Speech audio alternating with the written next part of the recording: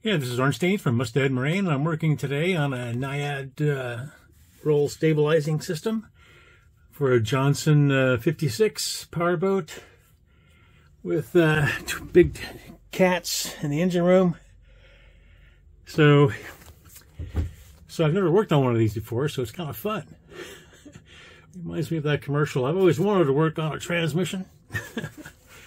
anyway, uh, the problem with this system is it's been overheating. We we used it going up the coast, but only it would go for about an hour or so before it gave us an overheating alarm, so we had to shut it down.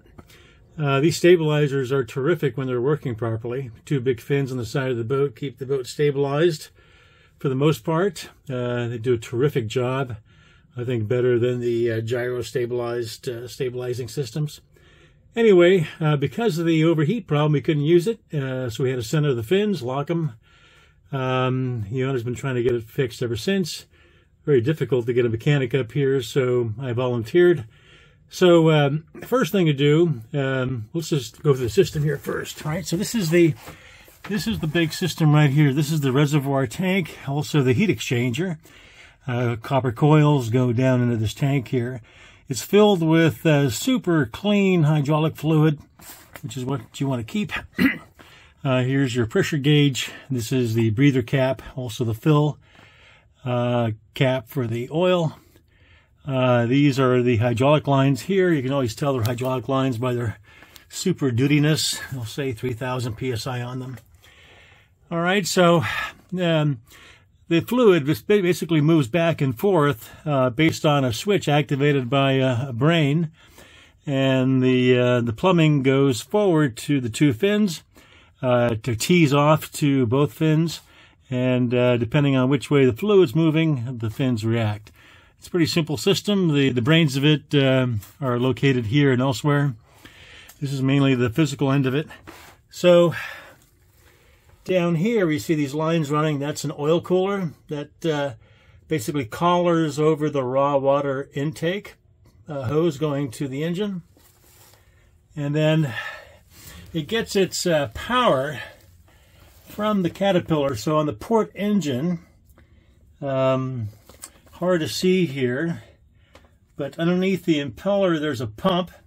There's one of the big hoses going to it. Uh, and that pump is what uh, pumps up the pressure in the hydraulic system. All this is here is sort of uh, the switch for which way it pumps, the reservoir and the cooling and so forth. So uh, components are cooler, the pump integrated in the engine, both are actually, and then the, the two lines that run forward to the uh, fins uh, that are underneath the galley forward. Anyway, uh, this is the cooling circuit. So you have cooling water going in and cooling water coming out. The cooling out circuit, this black hose here, uh, goes uh, integrates into the exhaust system and just goes out the boat. The cooling circuit on the inlet side, supply side, uh, is a black hose as well, and it goes to the heat exchanger on the Caterpillar engine. So as the engine's running, it's pushing the uh, salt water through the system, the raw water system, and part of it comes out of the heat exchanger and goes up here. Now this heat exchanger built into the thing is pretty small, only needs about three to five gallons per uh, minute uh, flow. Uh, so I can't use any kind of heavy duty uh, pump or air pressure uh, to try to clear it out. So anyway, um, in troubleshooting this, I first disconnected the cooling hoses and I tried blowing through the circuit here. It was hard to blow through, so it's somewhat clogged. A little bit of air is getting through, but not much. So that's why I'm, I'm uh, flushing that system out. And on the engine side, um, if I can find the, the hose that I cut, here it is. This was the hose that was on here. I removed it, and then I uh, tried to blow back into the heat exchanger, and I could not blow. So then I just ran the engine and to see if any water squirted out of here, and nothing squirted out. So this thing is totally clogged on the heat exchanger side. So what I did then, um, I came to where it's connected to the heat exchanger. And as you can see, uh, I'm trying to remove the fitting. And, uh, well, just a few seconds ago, that was totally clogged. It looked like that. So it, that plug just kind of popped out. So anyway, this hose uh, and this connection here, probably the fitting and maybe something on the inside of the heat exchanger is all gummed up. So I'm going to have to replace this fitting and hose and um, and then uh, scrounge around on the inside of the heat exchanger to see if there's any further clogging. Because there's gunk and debris in that heat exchanger, what I'm going to do then, uh, to prevent a clog occurring here, because once it gets cl clogged up in those copper tube, copper tubing in here, you're done, right?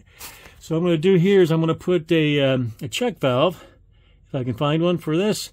I'm sure I can and a small mesh, uh, like a water screen for a freshwater system to catch any debris coming from the heat exchanger. So uh, those two things and a new line, new fitting, I think should work. We'll see.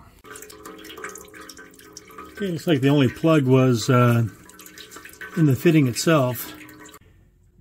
Okay, now that I got the heat exchanger side fixed, I got a new fitting on there, fittings, and a new hose on that side.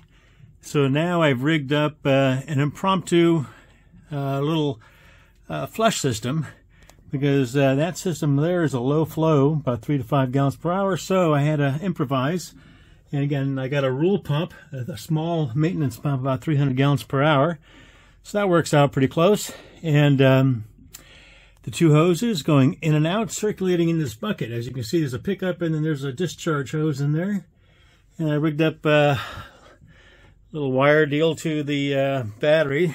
And I got my little kill switch here, dead man switch. And here we go.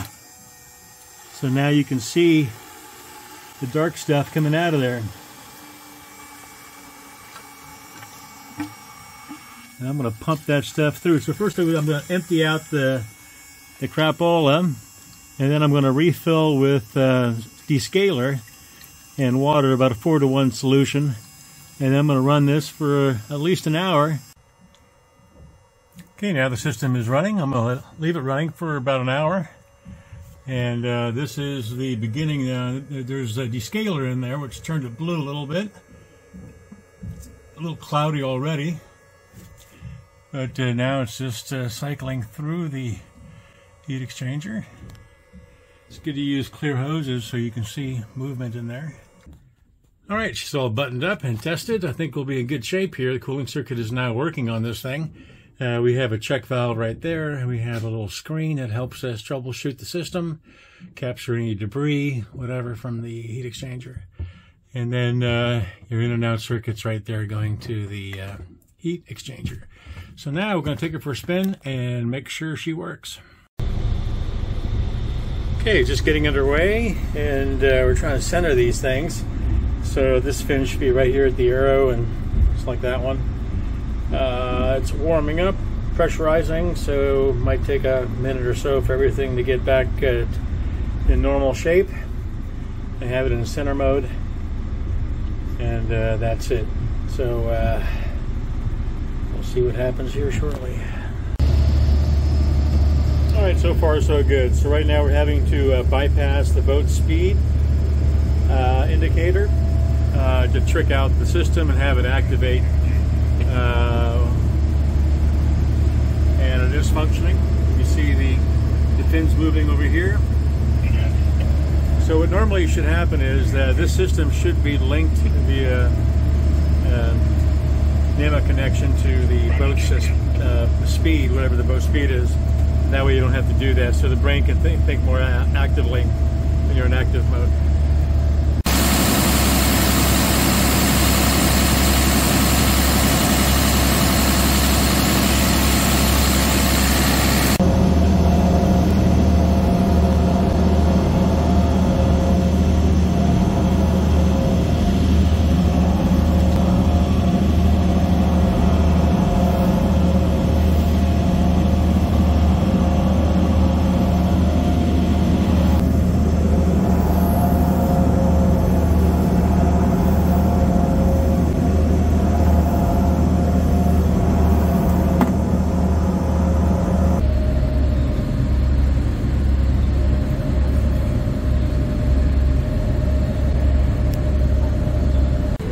Here with Randy. Randy, what do you think about the uh, stabilizers? I think they work. You fixed them very well. It's working great now.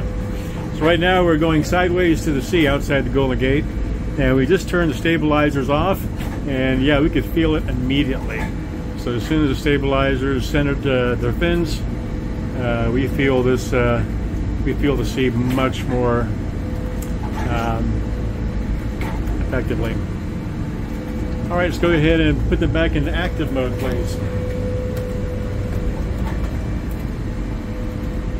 And you can see they're working. Yeah. Now the fins are fighting every motion.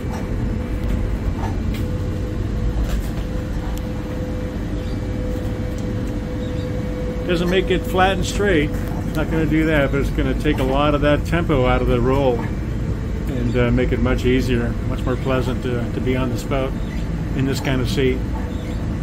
Yeah, like right now, for instance, I can really feel the difference. Feel that, Randy? Yeah, it's great. Okay. All right, good. Good test.